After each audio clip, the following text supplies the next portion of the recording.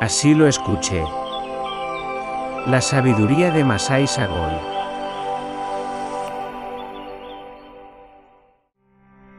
Si siempre tratas de imponer tus opiniones, no serás feliz en la vida. Escucha primero a los demás. Y si lo haces, ellos te escucharán después a ti.